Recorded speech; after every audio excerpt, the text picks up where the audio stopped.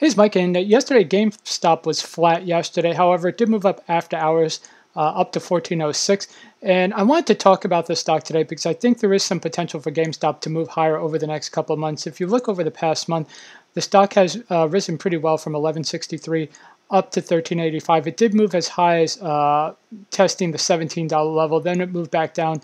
It looks like over the past five days that GameStop is looking to find a level to begin an, an approach back upward. Uh, I think a lot of what happened to GameStop was it had a big run up to the PS5 uh, rollout. Then after the rollout, you have the sort of buy the rumor, sell the news.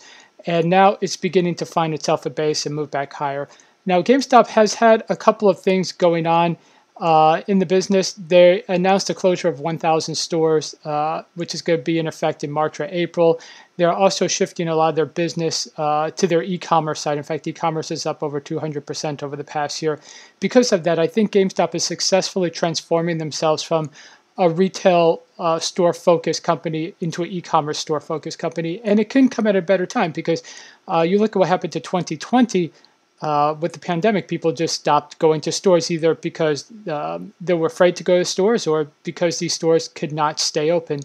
Um, I think GameStop closing their stores is a move in the right direction. The fact they're shifting towards e-commerce is going to put them in a great position to not only survive but thrive over the next 10 years. Now, I've said before in all my videos that I believe that GameStop will be worth $30 billion by the end of uh, the, the decade.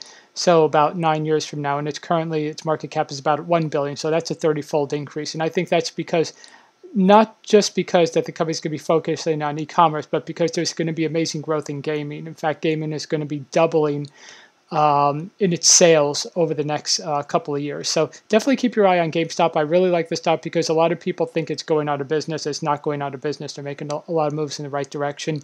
You've had some investors, including Ryan Cohen from Chewy and Senvest, uh, and I think other investors will come in as the stock continues to move higher. So definitely check out GameStop. Trades on the NYSE under the symbol GME. Okay, so I hope you enjoyed this video. If you did, please be sure to leave a like and go ahead subscribe and turn on notifications. I do multiple daily updates on stocks, options, and stock trading strategies. Thanks a lot. Bye.